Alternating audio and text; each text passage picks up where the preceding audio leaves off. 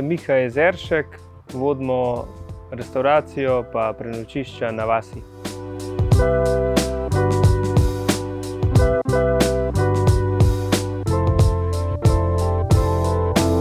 Koncept na vasi je, da gost dobi uh, hrano od lokalnih ponudnikov. Če začnemo pri predjedeh, imamo uh, lokalne sirarje, sirarna Postotnik, sirarna Bogataj, imamo lokalno špargle, sezonske, uh, z dolinarjeve domačije, imamo slaščice, uh, mesec.